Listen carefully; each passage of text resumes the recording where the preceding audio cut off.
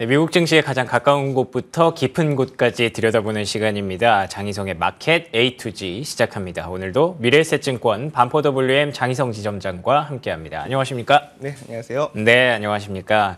어, 오늘도 어, 다양한 그 지표와 그리고 또 어, 이슈들을 통해서 투자의 시선을 환기시켜 보려고 하는데요. 네. 어, 일단은 가장 좀 궁금한 포인트 중에 하나가 지금 시장에서 변동성이 있기는 있는데 그 네. 변동성의 진폭이 살짝은 좀 작아지는 듯한 느낌도 좀 있거든요. 네네. 그게 뭔가 좀 변곡점으로 들어가는 느낌으로 개인적으로는 해석을 하고 있어요. 네네.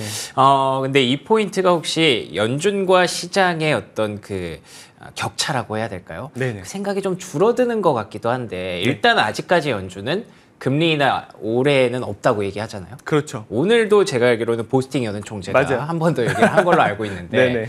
그래도 시장은 계속 금리 인하에 대한 기대감을 살리고 있단 말이죠. 네네. 이 격차가 어느 정도 지금 벌어져 있고 혹시 줄어들고 있나요, 좀? 어, 아직까지는 안 줄어들고 있어요. 아, 이게 그래요? 보면은 그 이제 연준 위원들은 어제 오늘 간밤에도 예. 인하가 없다라고 얘기를 했지만 시장은 이제 연내 세 번 금리 인하를 예상을 하고 있죠. 근데 시청자 여러분들도요 투자를 하면서 네. 이게 올해 금리 인하가 있을까 없을까를 기준으로 삼으셔야 돼요. 아, 그게? 예. 시장의 색깔을 굉장히 크게 좌우하기 때문입니다. 음. 왜 그러냐면 일단은 지금 상대적으로 나스닥이 더 강하죠. 그렇습니다. 네, 그 예. 이유는 시장이 금리 인하를 기대하고 기대하고, 있기 있기, 때문이에요. 예. 그래서 나스닥이 앞으로도 계속 강할 것이냐를 보려면 금리 인하 여부를 봐야 될 거고요. 이 본인이 판단을 하고 있어야 되죠. 음. 그러네요. 그리고 네. 또 보면은 어쨌든 지금까지는 이제 소수의 빅테크 위주의 랠리가 있었단 말이에요. 그렇죠. 좋고 안 좋고의 차별화가 극명했단 말이죠. 예. 근데 이것도 역시 금리 인하가 시- 그 기저에 깔려 있기 때문이에요. 금리를 왜 인하하느냐? 음. 네. 물가가 아직도 안 잡혔음에도 불구하고. 그렇죠. 뭐 은행 사태가 여전히 잠재되어 있고 하반기에 부- 상업용 부동산 문제가 불거지면 네. 금리 인하를 할 수밖에 없거든요. 그렇다면 경기가 안 좋다는 얘기죠. 예. 그렇다면은 돈이 있고 투자가 가능하면서 성장성이 있는 소수의 빅테크들만 음. 성장이 가능한 랠리가 이어질 수 있기 때문에 그 역시도 만약에 금리를 인하 안 한다 그러면은 네. 경기가 문제가 없다는 거면은 조금 시장의 온기가 펼쳐지면서 다 같이 올라올 수 있는데 그러네요. 그게 아니라면 소수 섹터가 가는 랠리가 이어질 수 있으니까요. 음. 그거에 대한 판단이 중요하고요. 또 이제 최근에 장기채 투자하신 분들이 많이 있어요. 장- 예, 예. 미국의 장기 국채를요. 그 역시 금리 인하에 대한 베팅이죠. 예. 그거에 대한 성공 여부도 역시 금리 인하 여부가 중요하기 때문에 음. 그거에 대한 판단을 하시면서 여러분들이 투자의 그런 기준을 잡으셔야 될 것 같습니다. 어, 좋네요. 그러니까 빅테크주가 만약에 계속 강하다면 시장에 뭔가 균열이 생겼고 나는 믿을 수 있는 빅테크주로만 가겠다라는 사람들의 어, 투자 심리가 더 많아진 거고요. 네네. 만약에 시장이 전반적으로 올라온다면 시장은 큰 문제가 없고 연준이 말하는 대로 올해 연내 금리 인하도 없을 것이며 그냥 뭐 소프트 랜딩으로 어느 정도 가다가 어, 다 같이 이제 시장이 올라갈 수 있는 그런 계기가 만들어질 것이다라고 하셨는데 어, 최근에 지점장님께서 하셨던 말씀이 기억이 나는 게 네. 되는 종목만 오를 것이다라고 하셨거든요. 네네. 그게 빅테크였고요. 네네. 그렇다면 지점장님은 금리 인하, 연내 금리 인하를 점치고 계신 거겠죠? 네, 저도 시장과 같은 생각이에요. 연내 금리 인하를 할 수밖에 없다. 음. 예, 예. 왜냐면 하반기 되면 어, 상업용 부동산 문제가 불거지면서 예. 금리를 할 수, 인하할 수밖에 없는 상황으로 도래할 거라고 보는데, 음. 근데 그게 물가가 적어도 금리를 인하하는 거를 방해하지는 않, 않을 것이다라고 보고 있고요. 음. 연준 위원들이 왜 그럼 인하가 없다라고 계속 발언을 하느냐? 예. 인하를 하는 그 순간까지는 예. 그 효과를 미리 주면은 안 되죠. 계속 그래서 이런 얘기 어떻게 보면 거짓말 같은 얘기를 할 수밖에 없는 거예요. 맞습니다. 시장은 아. 뻔히 알고 있, 다고 예. 보고 있는 거고요. 그래서 인하는 인하하는 순간부터 효과가 있어야 되는데 시장은 그쵸. 항상 앞서가기 때문에 그쵸. 그런 분위기가 있는 거를 인하 직전에는 더욱 더 매파적으로 잡을 수밖에 없다 이렇게 좀 보고 있습니다. 그러면 시장은 그 연준의 의도를 다 이미 또 알고 있다라고도 해석이 가능하네요. 네, 뭐 일단은 여전히 그 연내 3회 금리 인하를 베팅하고 있는 거는 그러니까요. 그런 예. 부분을 보고 있는 거죠. 근데 또 물가 얘기를 하셨는데 네. 사실 이번에 그 미시건대 기대 인플레 발표된 거 보면 네네. 좀 스티키하다고 하잖아요. 네네. 그러니까 좀 끈적한 물가가 어, 장기화될 가능성. 물론 지금은 내려오고 있지만 네네. 계속 좀 지속된다면 과연 연준이 쉽게 금리 인하를 선택할 수 있을까에 대해서도 저는 어느 정도 동의하는 바가 있거든요. 네네. 어떻게 보십니까? 맞죠. 일단은 이제 금리 인하 얘기를 하면은 물가가 지금 이렇게 높은데 무슨 물- 금리 인하냐라고. 말씀하시는 분들 예. 많은데 글쎄요, 저는 올해는요, 물가는 체크 포인트지 걱정할 포인트는 아니라고 생각을 해요. 음. 물론 이게 지금 5.0에서 4.9니까 별로 내려온 것 같지 않지만, 네. 그거는 이제 4월에 어, 오펙이 이제 깜짝 자발적 감산을 하면서 유가가 살짝 튀었었어요. 아, 그래서 그런 효과가. 있었지만 네. 이게 다시 지금 71달러 정도 내려와 있죠. 네네, 그렇죠. 그래서 이런 효과가 본격화될 것이기 때문에 어, 물가 상승률은요 적어도 빠르면 5월, 네. 늦으면 6월 데이터에서 앞자리 3자를 볼 거예요 헤드라인은. 오. 네, 빠르게 내려올 거로 보고 있습니다. 그래서 예. 이런 것들이 결국에는 어, 물가를 걱정할 요인으로는 안 만드는 것들을 여러분들은 음. 조만간 보실 거라 보고 있습니다. 저는 그럼 말씀 중에 그것도 좀 궁금해지는 게 에너지 가격이 왜 이렇게 계속 빠지는 건가요? 저는 그것도 좀 궁금하더라고요. 그러니까 유가가 예. 그 오펙이 이제 자발적 감산하면서 80달러를 넘었었잖아요. 그러니까요. 그것도 안 통하는 지금 상황이잖아요. 네, 그럼 감산을 왜 하느냐라고 봐야 될 것 같은데요. 아. 그러니까 유가를 올리고 싶어서 감산을 한다고 생각하실 수도 있지만 예. 유가를 방어하기 위해서 감산을 한다고 볼 수도 있는 거예요. 아, 그러네요. 왜냐하면 네. 자 경기 침체에 가장 민감한 조직이 어딜까라고 보면 저는 네네. 오펙이라고 생각을 해요. 예. 수요가 조금만 빠지면 유가는 급락을 합니다. 예. 금융위기 때 150달러에서 20달러까지 빠지는 걸 봤고요. 그렇죠. 그리고 불과 이- 한 이- 2년 전, 3년 전인가요? 마이너스 유가를 본 조직이잖아요. 저는 그거 거짓말인 줄 알았어요, 진짜로.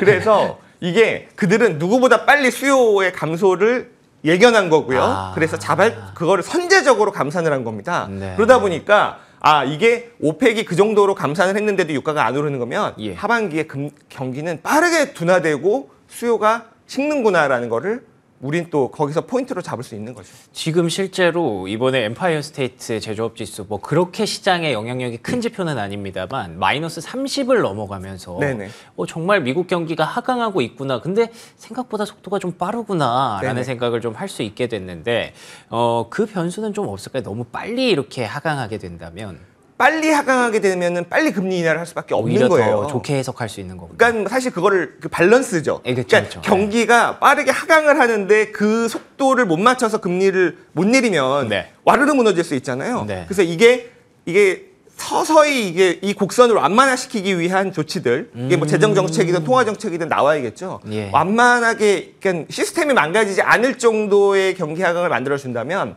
그런 여전히 성장을 보여주는 빅테크에서는 기회가 있을 것이고요. 실기를 한다면 만약에 연준이 실기를 한다. 음. 그쵸, 예. 금리 인하 시기를 놓쳐서 와르르 무너지면 사실 뭐 빅테크가 뭐고 없습니다. 그쵸. 예, 그래서 그런 것들을 잘 해야 되기 때문에 금리 인하를 하반기 할 수밖에 없지 않나라고 보고 있는 거죠. 음, 이게 결국에는 또 다시 연장선 연장선이 가서 금리 인하의 배경으로 작용할 수밖에 네, 없다라고 그렇게 보시는 거군요. 알겠습니다. 뭐 지금까지 다시 한번 좀 정리를 해드리면 물가 상승률 둔화되는 거 여러분들 다 확인하고 계실 텐데 그 둔화되는 과정과 진폭에 있어서는 조금은 어, 최근에는 변동성이 좀 있습니다. 어, 왔다 갔다 할 수밖에 없죠. 근데 추세적으로 봐야 된다는 말씀이셨고 그 중간 중간에 계속 물가가 무조건적으로 내려올 수만은 없으니까 하지만 그래도 추세적으로 본다면 빠르면 5월, 6월 안에 3자를 볼 수도 있다는 그런 얘기를 좀 해주셨어요. 보시다시피 유가라든지 천연가스 가격도 요즘 계속 좀 하락세를 이어가고 있죠. 지금. 예. 일단은 5월, 6월을 제가 또 말씀드린 이유 중에는요. 네네. 유가가 작년에 정점이 6월이었어요. 아 그래요. 그래서 마이너스 효과를 봐야 되는데 네. 예, 이게 작년 6월 같은 경우에 이제 미국의 휘발유 가격, 가솔린 가격이 5달러 평균, 전국 평균 5달러였는데 지금 한 3.5달러 수준에서 왔다 갔다 하고 있단 말이에요. 예, 예, 그렇다면은 전년비로 마이너스 30%의 효과를 주- 주는 겁니다. 그러네요. 그 마- 마이너스 20, 30의 효과를 주는 게 5월, 6월, 7월, 8월 정도까지고요. 물론 9월부터는 이제 그때 이미 유가가 떨어졌기 때문에 음. 그쵸. 전년비 효과가 없긴 합니다만 네. 유가가 드라마틱하게 일- 일단은 4월은 그 효과가 좀 덜했죠. 80달러까지 올라가면서 휘발유 가격도 좀 올랐었단 말이에요. 음. 예, 예. 그게 5월, 6월에 엄청나게 마이너스 효과를 에너지에서 보시는 걸볼 예. 거기 때문에 빠르게 3%대로 떨어질 거고요. 근데 그 아. 거기서 쉽게 안 떨어지긴 할 거예요. 예. 연말까지 3%대를 유지를 하- 하긴 할 겁니다만 거기다가 만약에 주거비 우리가 지긋지긋하게 보고 있는 주거비가 하락이 보이게 되면 그렇게 되면은 정말 드라마틱한 물가 상, 상승률의 하락이죠. 물가가 예. 빠지는 건 아니니까 물가 상승률의 하락을 아마 보시게 될 거예요. 그래서 더 연준이 미리 이렇게 좀 문단속을 하고 입단속을 하고 있다고 해야 될까요? 그런 네네. 느낌도 좀 없지 않아 있겠네요. 그걸 다 알고 있으니까요. 그럼요. 연준은 이미 네. 어, 알겠습니다.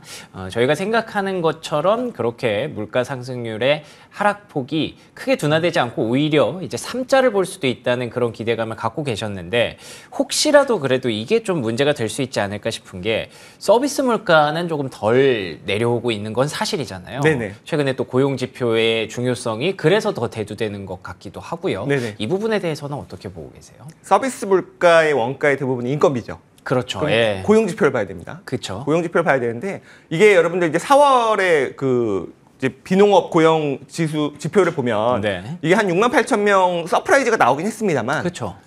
전월 전전월 수정했죠. 이게 음. 이제 뭐 2월 이게 이제 3월 2월을 한 7만 명대 마이너스 각각 7만 1천 명, 7만 8천 명을 마이너스 수정을 했습니다. 아 그래요. 그런 결국에는 합산하면 쇼크예요. 그러네요. 고용은 이미 쇼크가 나왔습니다. 어. 이제 빠르게 싣고 있죠. 이제 구인 건수, 그 다음에 이게 뭐 여러 가지 그런 그 고용의 지표가 식어갈 만한 선행 지표들이 식어가고 있어요. 예, 예. 그리고 굉장히 임시직 고용이라는 지표가 있는데 그게 이미 피크를 찍고 내려오고 있거든요. 이거는 지금 한 300만 명 정도 되는데 이제 굉장히 단기 파트타임의 그런 그 구, 뭐지 이제 구직자들을 모아놓은 거거든요. 이미 예, 아니 참 예. 이미 직업을 갖고 계신 분들, 고용되신 분들 모아놓은 지표인데 이거는 뭐 줄어들면은 몇 달 만에 100만 명씩도 줄어들어요. 그게 이제 피크를 찍고 내려오고 있기 때문에 굉장히 이게 실업률 증가에 좀 그런 어떻게 보면은 더해진 효과가 나올 거고요. 음. 이런 것들이 나오게 되면은 지금 사실 4월에도 시간당 임금이 예상치보다 좀 높게 나와서 걱정을 하시는데 네. 이 부분이 떨어지면서 이제 서비스 물가도 좀 잡혀가는 것들을 보시게 될 거라고 보고 있습니다. 오, 알겠습니다. 지점장님 말씀을 들어보면 물가의 하락 폭이 점점 더 커질 것이고 하락세가 지속될 것이라는 것은 거의 뭐 확신을 하고 계신 것 같아서 이 부분들에 대해서 여러분들의 의견도 좀 궁금하고요. 어, 여러분들의 투자 전략에 꼭 힌트가 되지 않을까라는 생각이 좀 듭니다. 어, 그런데 또 여기서 변수가 되고 있는 것들을 몇 가지 질문을 드려보고 마무리를 해- 하려고 하는데 은행 사태 네. 이 부분도 결국에는 음, 생각을 해보면 네. 지점장님 말씀 들어보면 이제 금리 인하의 배경으로 작용을 할 것 같아요. 네. 어떻습니까 지금 현재 상황이? 그러니까 이제 직접적인 영향과 간접적인 영향이 있을 텐데 직접적으로도요 은행이 어려워집니다. 네. 그죠? 예금이 줄어들고 있어요. 네. 근데 그 원인을 예금이 줄어드는 원인을 보면 사실 이제 대형 은행들은 일반 예금을 이제 0.3% 수준밖에 안 주고 있었어요. 예. 예금을 더 받을 필요가 없으니까. 그렇죠. 우리는 기준금리 올라가면 예금금리 다 올라갔는데, 그렇죠. 근데 이제 중소형 은행들도 그 조- 그 금리를 올려야 됩니다. 예금금리. 예, 예. MMF가 5%를 줘요. 음. 아무리 올려도 예금금리 5%까지 못 주거든요. 그쵸. 빠질 수밖에 없습니다. 애플이 지금 4.15%를 줘요. 미국에서. 네. 뭐 애플 정도면은 대형은행 정도의 신뢰도기 때문에 그렇죠, 예. 음. 대형은행도 지금 예금이 감소하고 있어요. 예금이 감소하고 있는데 그거를 사실 살려주려면 금리를 내려줘야 되는 은행을 살려주려면 금리를 내려줘야 되고 음. 또 부동산 상업용 부동산 문제가 불거지면 그거 해결책은 또 금리 인하밖에 없긴 한데 네네. 간접적으로 보더라도요. 자 예금이 줄어들고 있습니다. 그러면은 지금 미국의 은행들은 대출 태도가 굉장히 보수화되고 있어요. 음, 예. 대출이 줄어든다는 얘기입니다. 그렇다고 하더라고요. 근데 예금은요 즉시 줄어들어요. 내가 버튼 누르면 인출이 되죠. 네. 대출은요 바로 줄어들지는 않습니다. 아 그러네요. 일단 만기가 돼야 될 거. 예, 만기까지 살려주죠. 만기 때 연장을 안 해주면서 줄어들 거기 때문에 앞으로 급격한 대출의 감소를 보시게 될 건데 대출이 감소되면 어떻게 되느냐? 음. 네. 자, 개인들의 대출이 감소가 돼요. 그건 바로 소비 둔화로 직격됩니다. 왜냐하면 어. 내가 써야 될 돈으로 대출을 막 갚, 갚아야 되고 수중에 돈이 없기 때문에 주머니가 이제 가벼워지니까? 예. 소비가 둔화되고 이게 물가 하락으로 이어지는 거고요. 그러네요. 음. 서비스 물가도 잡히겠죠. 근데 자 기업들에게 대출이 안 되면요, 기업들은 투자를 못 하죠. 그렇죠. 투자를 못 하면서 고용을 못 합니다. 예. 고용을 줄일 수밖에 없죠. 그러면 역시나 고용이 줄, 실업자가 늘어나면서 또 소비가 둔화되는 그러네요. 이런 예. 효과가 또 물가 하락 요인으로 잡히게 되는 거고요. 또 상업용 부동산의 대출이 줄어든다는 건 사실 또 끔찍한 얘기로 음. 그쵸. 정말 예 이- 귀결될 거기 때문에 은행 사태로 대출이 줄어드는 게 결국에는 어, 직접적으로도 금리 인하 압박 요인이고 물가를 낮추는데도 굉장히 기여를 할 수밖에 없는 그런 좀 슬픈 요인이다라고 보고 있습니다. 알겠습니다. 근데 이런 슬픈 요인들이 모이고 모이면 결국에는 연준이 금리 인하를 할 수밖에 없는 배경으로 이어질, 이어질 수 있기 때문에 올해 연내에 금리 인하를 계속 전망하고 계신 부분이고요. 이걸 처음으로 돌아가면 연내 금리 인하가 배경에 깔리고 전제에 깔린다면 다시 한번 되는 종목들 그러니까 빅테크주 중심의 랠리가 좀 나타나지 않을까라고 이어볼 수 있을 것 같은데 한 가지만 그럼 더 질문을 드려볼게요. 네. 시기를 언제쯤으로 보세요? 지금 시장은 9월로 보고 있죠. 금리 인하 시기를. 네, 9월 그리고 이제 11월, 12월. 그러니까 네. 이제 세 번의 연내 금리나 그리고 내년에는 거의 뭐 거의 매월 이렇게 네. 시장은 지금 전망을 하고 있습니다. 페드와치 툴에 보면 그렇게 보고 네네. 있는데 어 이게 어쨌든 뭐 지금 뭐 7월도 한 36%가 나오긴 해죠. 지금, 시- 지금 화면에 보면 근데 아마 9월 정도 되면 분명히 그런 어, 압박 요인이 있을 거고요. 만약에 네. 우리가 은행 사- 문제나 상업용 부동산 문제를 너무나 그런 뭐 정부나 그런 페드가 잘 처리를 하면 늦춰질 수는 있을 겁니다. 그렇죠. 그러니까 예. 물가가 떨어진다고 해서 3%대 물가를 본다고 해서 바로 금리를 내리지는 않을 거예요. 예, 예. 이왕이면 더 잡고 싶겠죠. 2%대를 예. 더 잡고 싶을 텐데 만약에 그게 아니라 경기가 급격하게 하강을 하고 은행 문제, 상업용 부동산 문제가 불거지면 음. 뭐 9월 정도면은 금리 인하를 시작할 수밖에 없는 지금 정도라면요. 근데 음. 그거를 잘 관리를 해서 미국 경기가 튼튼하면 또 그게 또 주식이 빠지는 요인이 아니니까 예, 예. 주식 투자함에 있어서 big tech 투자함에 있어서 만약에 지금 제가 말씀드린 금리 인하 전망이 틀렸다고 해서 그게 굉장히 그런 damage는 아닐 거예요. 음. 뭐 채권 장기 투, 투자하시는 분들은 조금 시계열은 늘어나긴 하겠지만 그럴 수 그렇게 좀 연결해서 보시면 될 것 같습니다. 알겠습니다. 예, 이리 봐도 저리 봐도 지금 시점에서는 조금 더 안정적인 종목이 우세할 것으로 예상이 되고요.